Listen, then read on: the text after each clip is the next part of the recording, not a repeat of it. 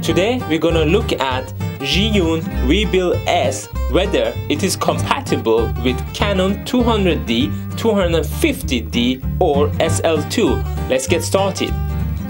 First, if you go to Zhiyun website and go to Weebill S, you go to the downloads, you'll see the manuals in here and then if you click on camera compatible list, it will show you the list of all the cameras that are compatible with this gimbal.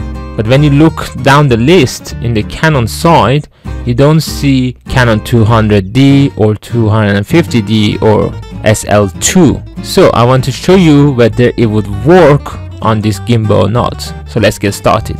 From the bundle of USB cables that you have got, you need to select the one with the micro USB and mini USB.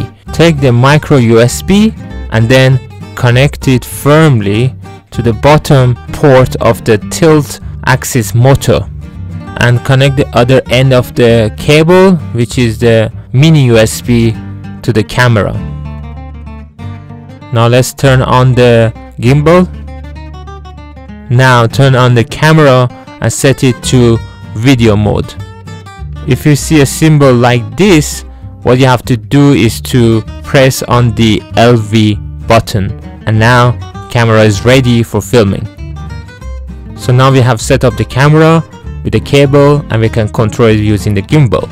For example, the first setting we can change is the aperture value which you can adjust the aperture priority by just turning the knob clockwise and anti-clockwise to decrease and increase the values. So if you press right on the panel, you will go to time value. Time value means shutter speed or shutter priority. And by turning the knob clockwise and anti-clockwise you can increase and decrease its value.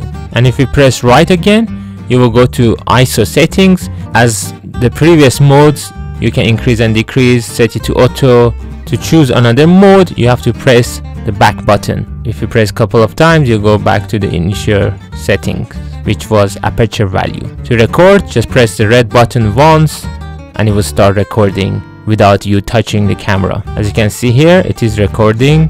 To stop recording, just press the red button again and now it's not recording anymore. Just make sure that this wire won't get locked between the arms because I had this experience when I was running the gimbal that this wire sometimes was coming on the way and it was kind of locking the arms and not letting it to move. The conclusion is that Canon 200D, 250D and SL2 they all work with Weebill S. I hope this video was useful.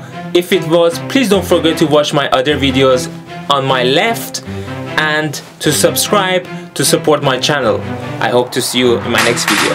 Bye bye.